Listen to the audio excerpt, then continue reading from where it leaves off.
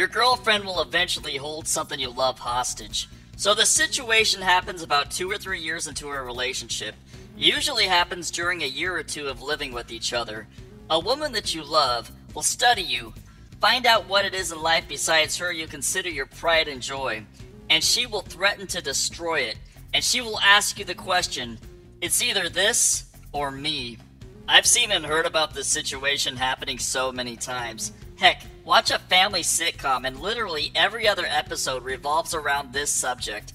There's so many episodes of Home Improvement where that rich wife like has poor old Tim choosing between tools or a hot rod or going to the ballet with his wife or some crap. Like any sitcom from the 90s or 2000s, look it up. The movie A Christmas Story is a prime example, you know, with like the leg lamp. The dad absolutely loved it. He was proud and passionate about the thing because he won it. It was like a trophy.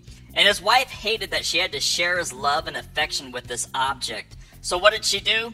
She destroyed it. And this type of thing does happen in real life all the time. Trust me, if your relationship is going on its third or fourth year, this situation is coming for you.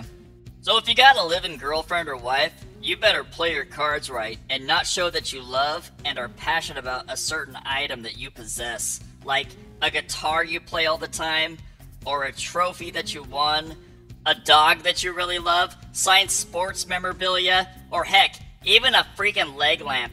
Don't show your affection for these things in front of her, or she will use them against you. The bottom line is is that chicks don't want to compete with anyone or anything. Women are so used to having a man's full attention and dedication.